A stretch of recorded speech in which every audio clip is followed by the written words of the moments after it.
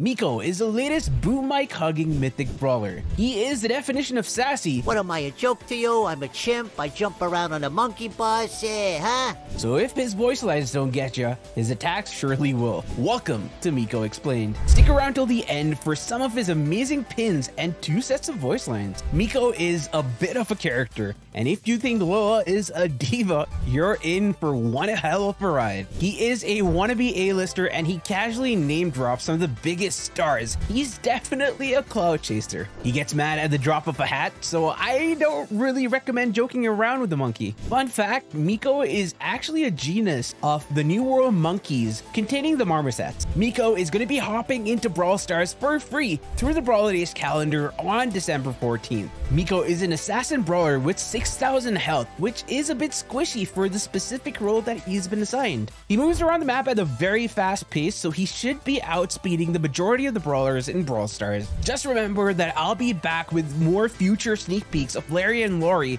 and Kid, so remember to check back soon. Mico's main attack is called the Mic Boom. He leaps forward four tiles, attacking multiple enemies with his mic when he lands on them as long as he's within a one tile radius. He packs a wallop with his attack, but his reload speed is 2.38 seconds, which is particularly slow. So make sure you count your ammo properly or you're in a world of hurt. The amazing thing about Mico is that with his mic boom, he can actually jump over walls and other hazards on the map. And while he is airborne, he's actually invincible to all the attacks that the enemy brawlers might try to dole out on him. Basically, if you're really quick with your fingers and have good ping, you can bamboozle a lot of players in Brawl Stars. Mico Super is called out of frame and he literally jumps out of frame when he uses it. While jumping, he becomes invulnerable and you can actually choose where you want Mico to land. He's up in the air for 6 seconds and his range is a lot. I, I don't know how much it is. But when he does land, he does 2380 damage to multiple enemies in his landing radius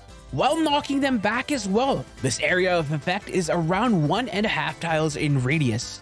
So you have to hit targets five times in order to charge up his super with his regular attack. And if you happen to use your super on an enemy, you gotta hit them four times to get your super back. Well, listen, come close. When he's up in the air, he not only heals up, he is also able to reload his ammo as well. So it's safe to say that when he's back, he's gonna be a nuisance. But for those six seconds, his teammates will have to 2v3. Mico's first gadget is called Clipping Scream. Mico yells with all his might at his closest enemies, which result in three shockwaves. When they hit an enemy, they deal 545 damage per shockwave and slow down that enemy for two seconds. But there's more to this gadget than meets the eye. If Mico is within a tile of the enemy, all three shockwaves hit the closest enemy. Otherwise, each shockwave hits a maximum of one enemy up to a total of three. Mico's second gadget is Presto. With this gadget, Mico is able to leap a bit further with his main attack. Instead of leaping about 4 tiles, he now leaps about 5 and 1 third tiles, which would allow him to get into the face of some of the brawlers that he is targeting. Let's talk about Mico's star powers. Mico wanted to work in show business, but he ended up in a lot of monkey business instead.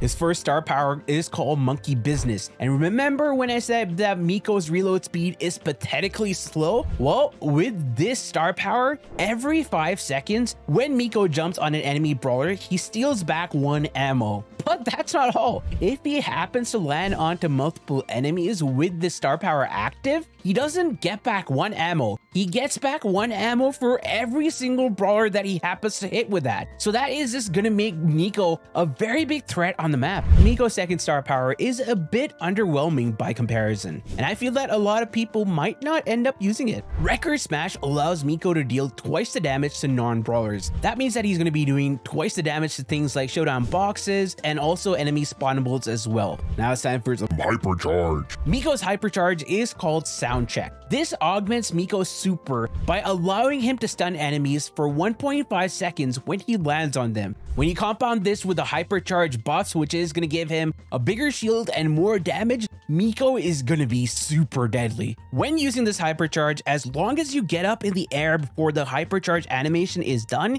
you'll be able to stun enemies. But there is a small windup for a super, so if you wait too long, you just might miss out on that window of opportunity. To charge up his hypercharge, you need to hit 13 targets with Mico's regular attack and 9 targets with Mico's super. Now I personally think that Mico is a pretty interesting brawler. He's similar to Mortis in that you can move with your main attack, but that's where the similarities stop. He's definitely going to be a community favorite with his voice lines and his kit for sure. In terms of his effectiveness in the game, it really comes down to the skill level of the player piloting Mico. A great Mico will be a huge threat on any map, while a terrible Mico will probably be me.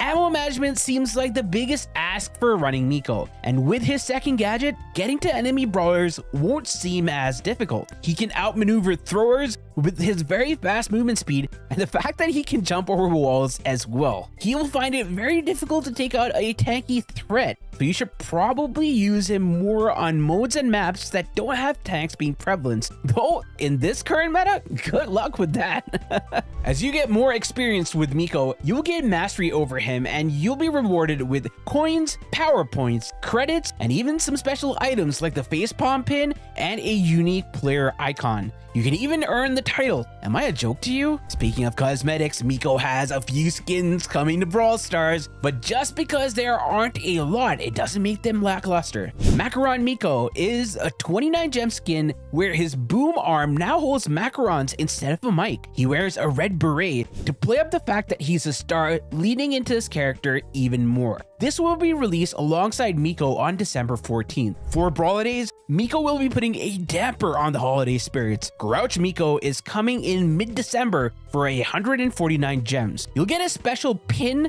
and a player icon as well with this one. Mico uses a peppermint candy cane instead of his usual boom arm to attack enemies and wears a hat with horns. And additionally, when he uses his main attack, he leaves behind a trail of mist and when using his super, he jumps up damaging all your Christmas presents while landing on the ground with some cool looking snowflake animation. When we enter the Dragon Pit in February, we get Wukong Mico, inspired heavily by Journey to the West. This skin is a legendary one. With a hefty price tag of 299 gems, you get an awful lot of coolness along with it. Wukong Mico equips the Jingu Bang mythical staff and leaps at enemies and flourishes his staff when he lands. The custom death animation is that of his staff twirling in place. When using a super, Wukong Mico throws down his staff which expands and takes him skyward and he lands with authority, beating down his staff, sending a shockwave across the map. As a legendary skin, you also get 9 amazing pins, a player icon, and a spray. So if you want to grab these skins, remember to use code PAN in the Brawl Stars shop. If you like this video and the explanation, consider subscribing.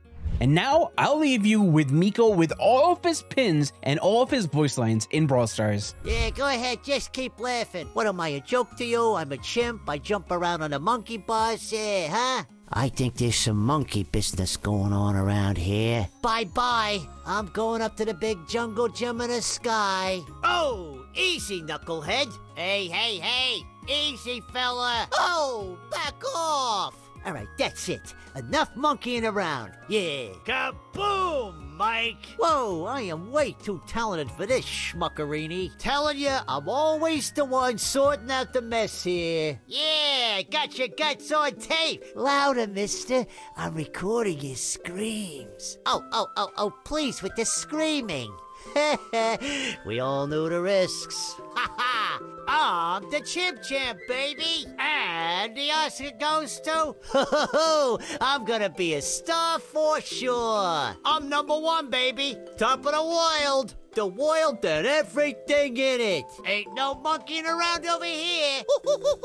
Whoa, that was primal. Countdown to chaos. Testing one, two, three. Testing. Yeah, this is just a side gig. Hello, my good fellas. Whoa, time for some whack-a-noodle. I'm going bananas. Michael, drop moment. Not so tough now, are you, Weisenheimers? Primate power.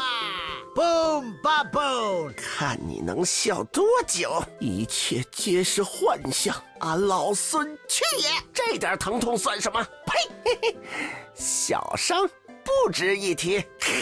乞丐，嘿嘿，都是小意思。嗯，嘿嘿，蹦嘎！我若成佛，天下无魔，当我老孙者，统统让开！嘿，让你知道这金箍棒的厉害啊！哦，你说啥？大点声，给我一点尖叫声！嘿嘿嘿嘿嘿嘿！你孙外公在此，你没听过？哦，齐天大圣，我就问还有谁？超出三界之外，不在五行之中。我若成魔，佛奈我何？哦，都在哪儿呢？高处不胜寒呢。孩儿们，美猴王来了，俺老孙来也。嗯，有妖怪，这只是俺的兼职工作。啊哈，我的徒子徒孙们，嘿，准备大闹一场。哈哈，吃俺老孙一棒。哦，妖怪哪里逃？看我七十二变！